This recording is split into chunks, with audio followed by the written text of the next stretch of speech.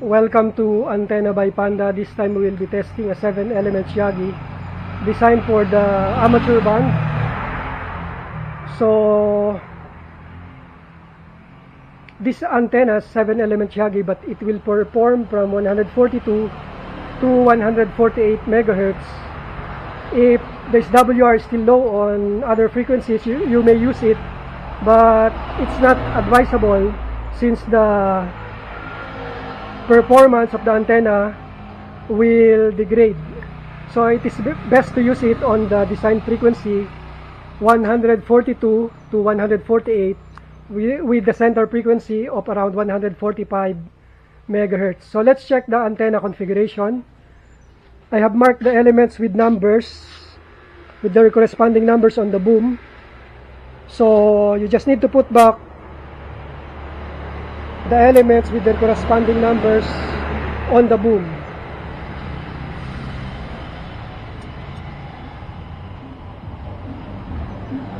So this is a mid-mount antenna, but you, you may still mount it using end mounting by putting a plate at the back of the antenna on your antenna mass if you're going to install it at the uh, middle or mid mount you need something like this a T extension so that you can connect the antenna securely.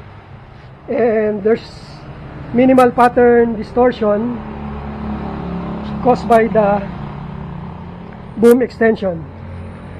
So we have a gamma match Yagi antenna. We have the tuning stub. We have an SO239 uh, feed point, we have the tuning stub. The tuning stub is marked with masking tapes. So you just need to put back the tuning stub in between those, those marking tapes. We have the plastic spacers. You just need to secure it with cable tie. So at the back of the antenna, we have a PL259 connector coupled directly to an SO239 connector so that the installation would be easier. Make sure that you just insert the connector properly and tighten it tighten it properly. Making sure that there's no loose connection between the feed point SO239 and the PL259 connector. So this is already tight Make sure also that you tighten the nut on the SO239 connector. This is now connected to an RG8 coaxial cable going to my antenna analyzer which is N121SA antenna analyzer. So let's check the individual frequency response. So this is the exact center frequency of the antenna at 145.5 our impedance is 47.5 or 48 ohms at BSWR of 1.0 our reactance is around 0.8 ohms. Our S11 is minus 31 or 32 dB or the antenna return loss antenna return coefficient. So let's check the individual frequency response from 145 145 is 1.1 so we're going down to 142 and going up to 148 so 145 is 1.1 144 is 1.1 or 1.2 143 is 1.3 and 142 is 1.4 so let's go up 146 is 1.1 as well. Very close to 145. 147 is 1.2.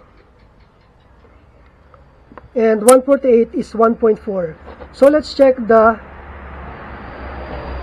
frequency curve on the antenna analyzer.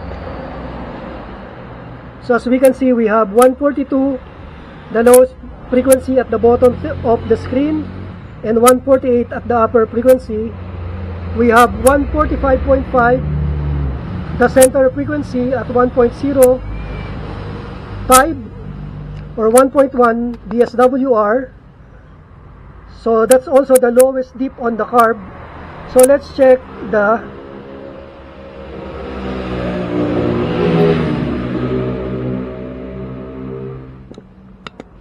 impedance on that frequency. Antenna return loss or antenna return coefficient is minus 32 dB. Reactance is 0.7 ohms. Load or resistive load is 47.56 impedance is around 47.58 or 48 ohms at the lowest frequency dip let's go back to BSWR so as we can see here we have 142 is 1.4 and 148 is also 1.4 at the lowest frequency dip of 145.5 megahertz. So this antenna is ready for shipping and going to Caloocan City for Mr. Alvin Laude. So that's it. I hope you enjoy watching and until next time so this is a 7 element Yagi build for the amateur band. 7 element Yagi antenna. Thank you for watching